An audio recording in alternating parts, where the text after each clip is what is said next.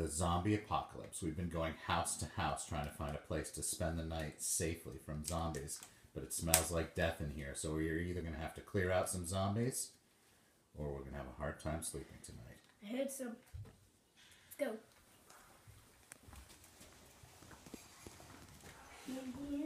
Zombie. Let's go upstairs.